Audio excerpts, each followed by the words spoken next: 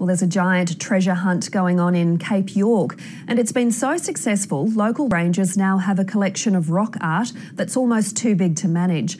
Authorities are calling for extra resources to preserve their finds before it's too late. He's a Tamara Quinkin, good spirit. This secret rock art gallery is a fine example of Quinkin's spirit painting. This place here is um, known as Collapse Gallery. Uh, I'm not going to tell you what location it is, it's pretty sacred. Um, but hey. Rangers from Laura came to this site five years ago after local graziers tipped them off.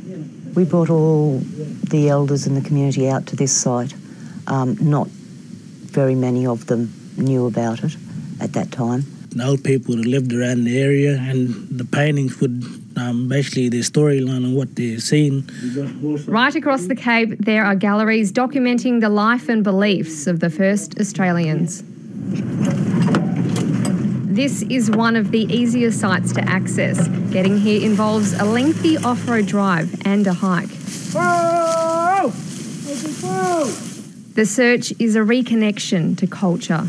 For us, um, we feel the presence from the old people and we can sense them. That's why before we came in, I actually sang out. Covered a few sites over here. Just an hour away, another ranger group near Cooktown is rediscovering history.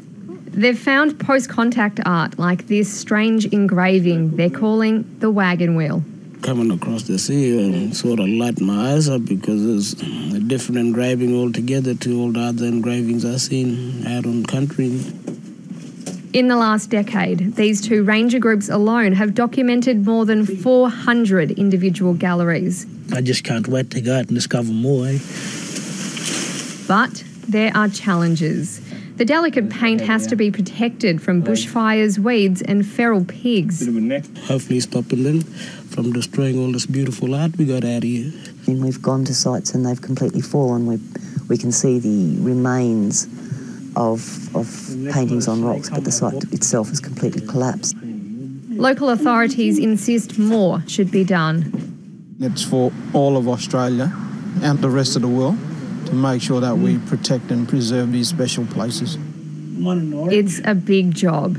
The rangers around Laura say they've only surveyed a quarter of their land so far. Emilia Terzon, ABC News, Cape York.